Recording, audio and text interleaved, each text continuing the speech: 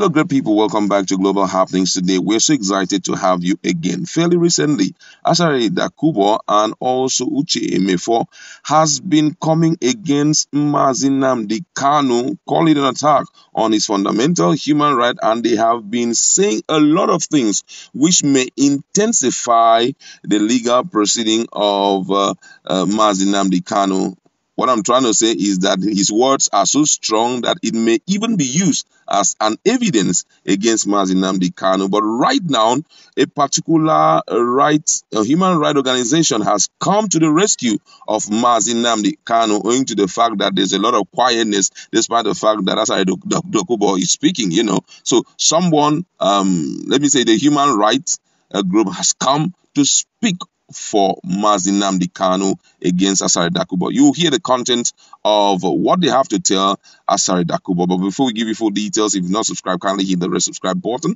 and also the bell icon so that you get notification anytime we publish our video.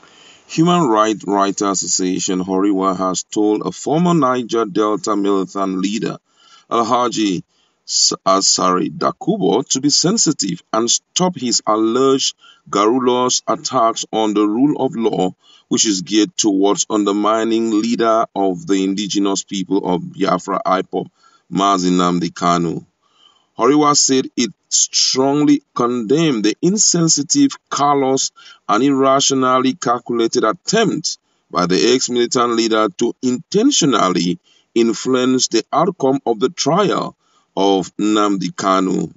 According to him, he said, We condemn the systematic campaign of calumny by Mr. Dakubo targeting Mazi Nnamdi Kanu. HURIWA said in a statement signed by Comrade Emmanuel Onwubiko, its national coordinator.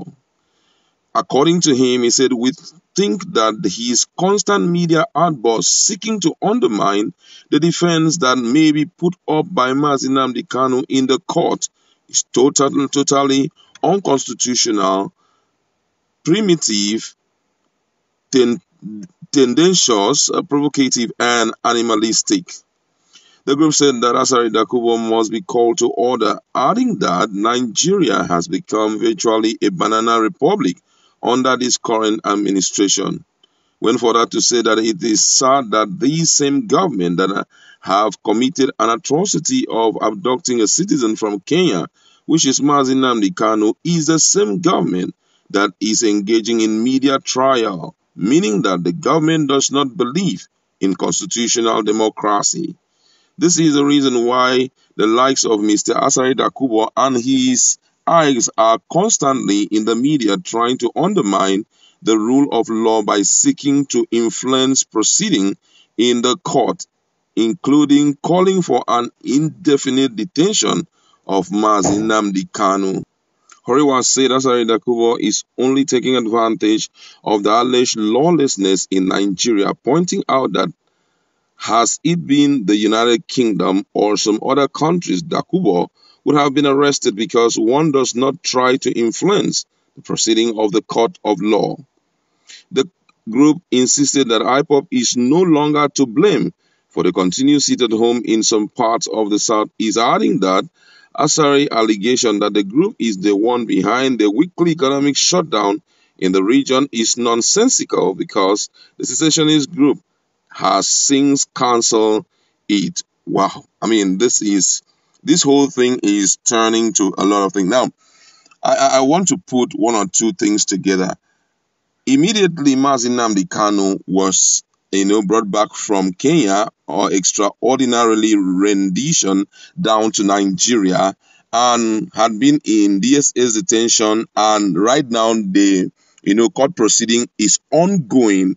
Suddenly, Asari Dakubo have started talking over and over again. Not just him alone, also his Secretary General has all a communication person talking about Mefor, who had been a former um, kind of vice president of IPOB. He had also joined, you know, to lambast uh, IPOB, making mention of the fact that all the killing that is going on in the southeast is traceable to them and that they should also not deny it any longer. They should claim it. Now, you now realize that this is a way, just exactly what HURIWA have said right now. It's a way of making the trial so cumbersome and so distracting for Mazi Nnamdi Kanu. I mean, this is this is unthinkable. I another thing that I'm trying to you know think about is I, it's like he's trying to see how possibly Mazi Nnamdi Kanu cannot come out because he, everybody knows the level of uh, uh, solidarity and this level of support that he has from the southeastern people. So now uh, there is no other person that can grow as strong as this in terms of being, you know, Biafra agitator. He's like the topmost guy we know you, you if you've been watching some of the trial um dates you'll notice that the whole area is being jam-packed population everywhere and people are there supporting and chanting a lot of songs just to show how much they are committed to supporting him. So right now i think what is going on is as if Asari Dakubo is trying to uh, this one is just assumption you know i'm not so sure of it but i'm trying to based on the analysis i'm trying to see um, that uh, they want to kill the support that has been given to Mazi Nnamdi Kanu, at least by allowing him to stay in prison or possibly not coming out of prison, so that another person can begin to head, you know, the push for Biafra agitation and get enormous support like Mazi Nnamdi Kanu has been getting. And I think that's why HURIWA had to come up immediately to speak about, you know, um, the activities of Asari Dakubo working against the proceeding or the rule of law. You know, the fundamental human right of Mazi Nnamdi Kanu can be threatened at this point because I, from all indication, uh, with what Asari Dakubo is saying, he's trying to strengthen, you know, and also consolidate on some of the weaknesses, not just the weaknesses, and some of the points that may be used used against Mazi Nnamdi Kanu. And that's why Dakubo making be quoted in court, you know, because at one point I feel he had been a member of IPOB and he has he will say he has a lot of things to say against Mazi Nnamdi So you now realize that the whole issue is going to um, turn out against Mazi Nnamdi a great I think that's why HURIWA had to hurriedly step in to see how he can, you know, quell the whole fight against the fundamental human right of Mazi Nnamdi But hey, let's just look at what Nigerians have to say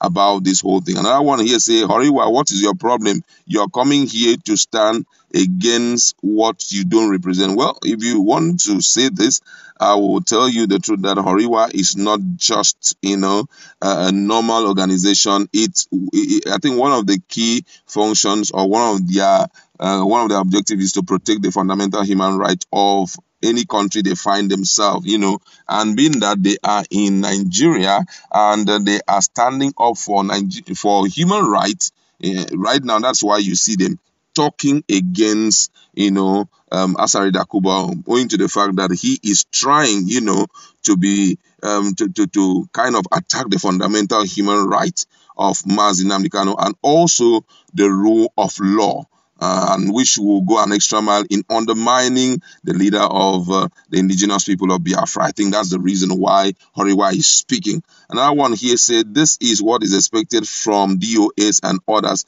They should be responding to every form of attack that is coming from Asari Dakubo because if they do not respond automatically, it will affect the proceeding of uh, the case of Mazi Nnamdi Kanu. You see, a lot of people are talking. And this one here says, I don't like the way the DOS is overly quiet when Asari Dakubo is speaking. It goes to tell the government that what he's saying is absolutely true and it may be used against him. Thank you, HURIWA, for standing up for the fundamental human right of Mazi Nnamdi Kanu. So many people are talking different things, but we want you also to look at this issue. What do you have to say about uh, uh, HURIWA coming to the help of Mazi Nnamdi Kanu?